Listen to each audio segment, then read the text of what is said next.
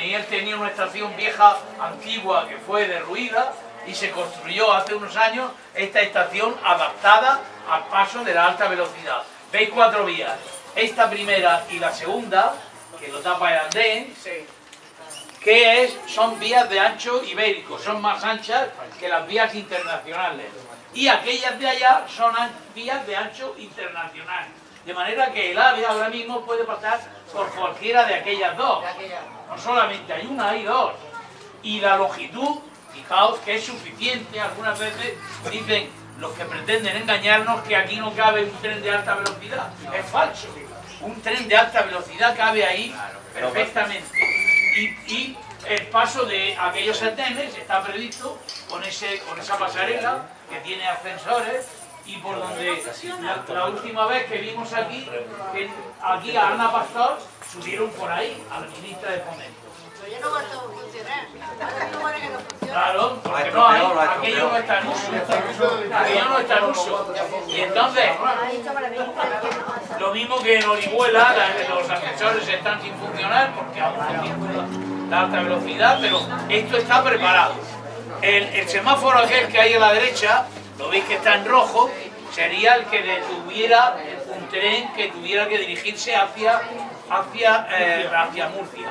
Estas vías primeras son de ancho ibérico, son más anchas, pero si quisieran que este, por, con más comodidad, que no hubiera que hacer ese paso elevado a pesar de sus ascensores y todo lo demás, ahí se puede poner un tercer carril, un tercer hilo que llaman los ferroviarios, y en ese andén podría estar, dar servicio tanto a las cercanías como a la alta velocidad.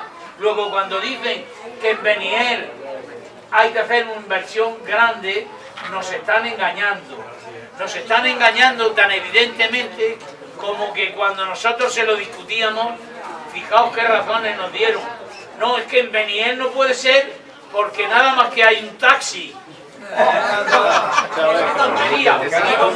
Y como, yo insistía, como yo insistía, después me dijeron, no, pero es que los maquinistas no tienen taquilla.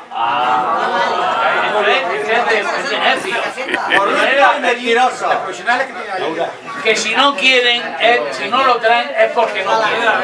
En Almería, en Almería, la estación de alta velocidad se va a hacer en un barrio que se llama el Pepe. El Puche. El Puche es un- una, había una estación antigua, allí se va a hacer la estación nueva de Almería. Y allí han accedido a lo que nosotros pedimos. Para que se haga bien la estación nueva con su soterramiento, el AVE no va a llegar allí. Va a llegar a una estación que van a hacer provisional, que es en Viator. Eh, o a lo mejor suena, allí había un campamento, de, un campamento antiguo donde juraban bandera los que hacían allí la mili eh, en tiempos antiguos. En Viator van a hacer una estación nueva provisional mientras se hace el soterramiento en el Puche, que es el equivalente al Carmen. Aquí ya está hecho. ¿Por qué, por qué aquel derroche de dinero de esa, de esa pasarela impresentable y tres kilómetros y medio de vías electrificadas con un gasto que según dicen ellos es provisional? Eso no se puede entender. Aquí tenemos la solución mucho más fácil que en otros lugares y sin embargo se han empeñado en meter las dos patas por un calzón para hacerse la foto para las elecciones del 19. Pero vamos, ya es que ni siquiera llegan a esto. Y, que- y lo que tardaría en lanzadera, que ya lo has visto. A la izquierda los semáforos que están sin usar los pantalones verdes para ir a. Mira lo que a la regulación, la regulación de parada y todo, que es la señalización para los maquinistas, está hecha. Allí veis uno- uno- una instalación a derecha e izquierda. de semáforos, ahora mismo está en un puente que impediría salir, pero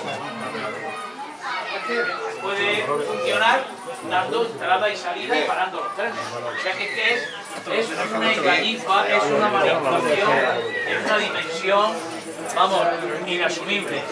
Lo que, lo que queremos, lo que hacemos hoy es demostrar que esto es, que esto es viable. Yo no tenía por ahí un papel, no quiero ser que garantía lo él. pero hace 50 años un 13 de marzo, un 13 de marzo era el mayo francés, 13 de marzo del 68. Se decretaba la huelga general en París y hoy, por confluencia de los actos o no sé de qué, es, la efeméride. Ojalá sirviera este acto para demostrar que lo que estamos pidiendo es viable, es lo más económico y es lo más razonable. A ver si caen en la cuenta. Seguimos. ¡Sí se puede! Quería